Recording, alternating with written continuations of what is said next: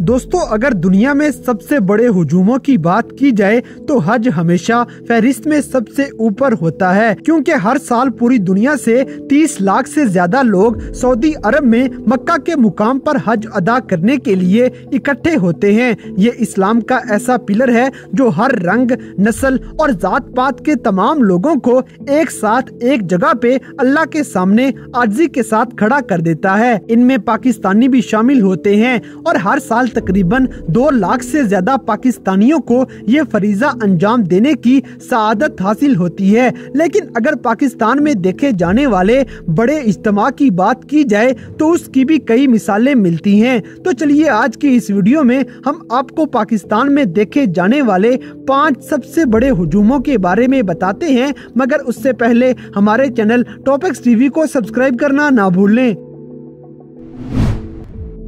Number five, Mumtaz Qadri funeral दोस्तों, मुसलमान कुछ भी बर्दाश्त कर सकता है, लेकिन हज़रत मोहम्मद सल्लल्लाहु अलैहि वसल्लम की इज़्ज़त हरमत पर समझौता नहीं कर सकता और इसके लिए अपनी जान की कुर्बानी देने से भी गुरेज नहीं करेगा। ऐसा ही वाकया एक पाकिस्तान में पेश आया, जब जून 2009 में आसिया बीबी नामी एक ईसाई औरत पर हज़रत मोहम्मद सल्लल्लाहु अलैहि वसल्लम के बारे में गुस्ताखाना अल्फाज कहने का इल्ज़ाम लगा था और उसे गिरफ़्तार करके शेखुपुरा जेल में कैद कर लिया गया और 8 नवंबर 2010 को आसिया बीबी को सजाए मौत सुना दी गई, जिस पर पूरी दुनिया में ईसाई बरादरी की तरफ़ से शोर बर्पा हो गया था और लाहौर हाई कोर्ट में आसिया की रिहाई की दरख्वास्त जमा करवाना शुरू कर दी। इसी दौरान गवर्नर पंजाब सलमान तासीर 20 नवंबर 2010 को अपनी बीवी और बेटी के साथ आसिया बीबी से मिलने आते हैं। उन्होंने जेल में आसिया बीबी के साथ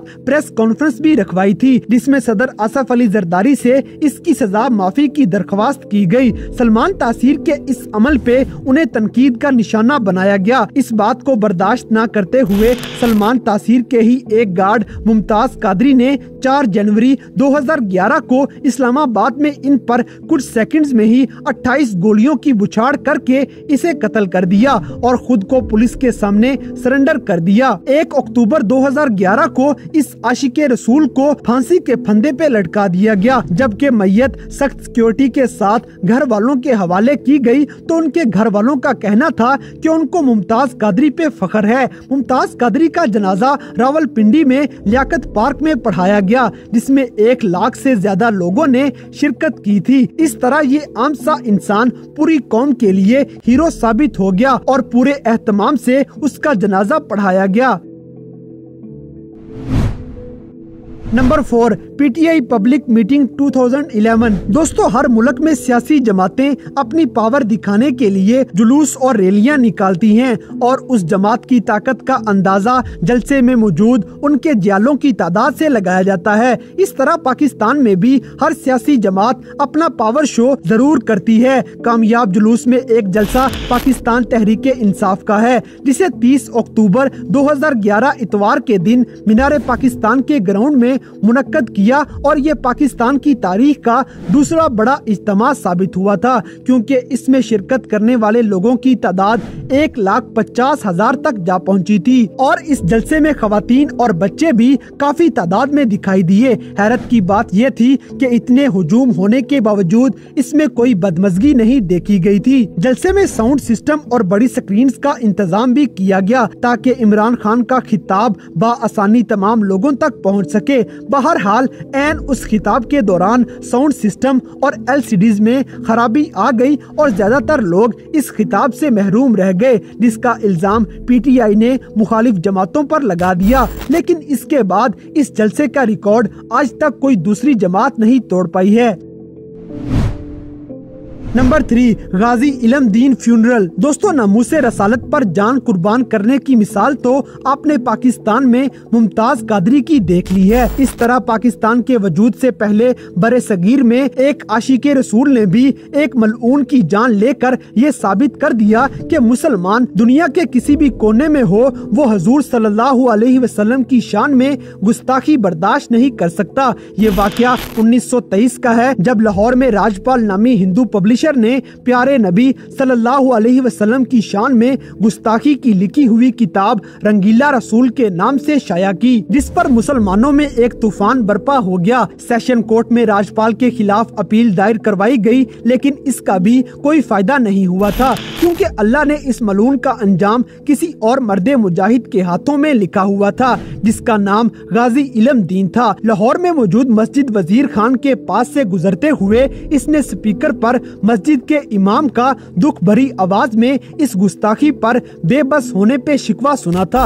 ये बात उसके दिल में घर कर गई और 6 सितंबर 1927 को इलम दीन ने बाज़ार से एक तेज धार चाकू खरीदा और उसे जेब में छुपा कर राजपाल की दुकान के बाहर इंतज़ार करने लगा। राजपाल के आने के बाद ये नौजवान दुकान में दाखिल होता है और एक ही वार में उसको जहन्नुम वासिल कर देता है। इलम दीन ने भागने की बजाय खुद को पुलिस के हवाले कर दिया और इसके वकील कायदे आज़म मोहम्मद अली जिना थे। कायदे आज़म की ज़िंदगी में ये वाहिद ऐसा मुकदमा था जो वो हार गए थे, क्योंकि इलम दीन ने कोर्ट में खुद एतराफ किया कि उसे इस गुस्ताख को मारने पर फख्र है, जिस पर उसे सजाए मौत सुना दी गई। 31 अक्टूबर को इस मुजाहिद को फांसी पे लटका दिया जाता है और 19 नवंबर 1927 को अलामा इकबाल की सरबराही में मैयत को घर वालों के हवाले कर दिया गया। गाजी के जनाजे का मुकाम लाहौर में था और इस जनाजे में छह लाख से ज़्यादा लोगों ने शिरकत की थी। ये इतना बड़ा हजूम था कि बड़े सगीर के मुख्तलिफ़ मुकाम से मुसलमान इस शहीद का आखिरी दीदार करने के लिए आए थे। इस तरह जिस नमूस की हिफाजत से कानून कासिर था, उसकी हिफाजत की खातर गाजी इलम दीन ने जान लेकर और जान देकर कर ली थी।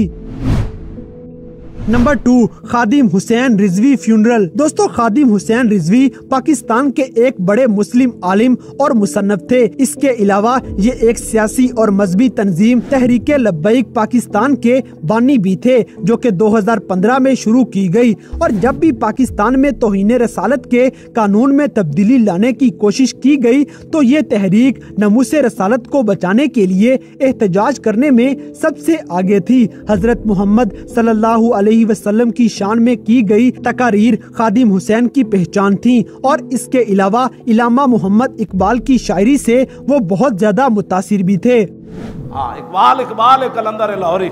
हाँ इकबाल, हस्ती ने मुस्तफ़ा दीन हयात ज़िंदगी गिरत बई कानून सुबात इकबाल कहता कि उम्मत मुस्लिमा ज़िंदा रहना चाहती तो हजूर दे दीन तो बगैर चारा कोई नहीं। इलामा खादिम हुसैन वफात से पहले काफ़ी अरसा अलील रहे और 19 नवंबर 2020 में इनको बेहोशी की हालत में लाहौर के फारूक हॉस्पिटल में लाया गया, जहाँ पहुँचते ही वो जहाने पानी को छोड़ के चले गए। उनकी नमाज़ जनाजा मीनार पाकिस्तान में पढ़ाई गई और इस जनाजे में तकरीबन 20 लाख से ज़्यादा लोगों ने शिरकत की और जिससे न सिर्फ़ मीनार पाकिस्तान का ग्राउंड बल्कि आसपास की सड़कें और छतें लोगों से भर गई थी। इस जनाजे में शरीक होने के लिए पूरे पाकिस्तान से लोग इकट्ठे होना शुरू हो गए थे और ये जनाजा पाकिस्तान की तारीख का एक रिकॉर्ड बन गया।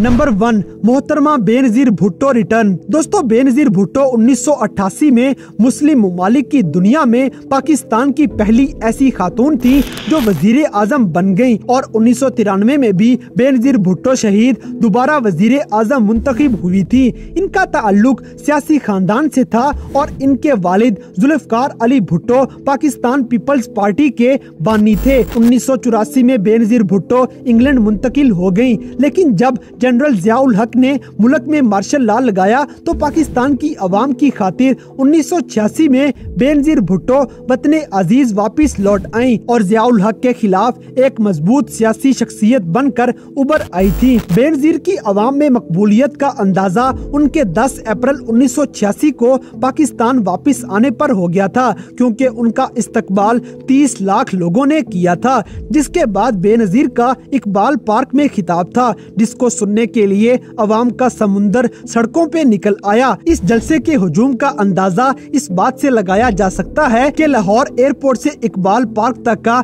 12 किलोमीटर का सफ़र बेनजीर भुट्टो ने 10 घंटों में तय किया था। पाकिस्तान की सियासी तारीख का ये सबसे बड़ा जलसा था, जिसका रिकॉर्ड आज तक कोई भी और सियासी पार्टी नहीं तोड़ पाई है। तो दोस्तों, ये थे पाकिस्तान की तारीख में नज़र आने वाले अब तक के पाँच सबसे बड़े हजूम। तो इन सब में से कौन सा हजूम देखकर आपको सबसे ज़्यादा हैरत हुई? इस बात से हमें कमेंट बॉक्स में आगाह करें। और अगर वीडियो पसंद आई है तो लाइक करें, शेयर करें और हमारे चैनल टॉपिक्स टीवी को सब्सक्राइब करना ना भूलें। और दोस्तों, अगर आप हमें किसी किस्म की कोई सजेशन देना चाहते हैं तो लिंक्स डिस्क्रिप्शन में दिए गए हैं। अभी हमारे फेसबुक, ट्विटर और इंस्टाग्राम पेज को फॉलो करें और हमें अपनी कीमती राय से ज़रूर आगाह करें।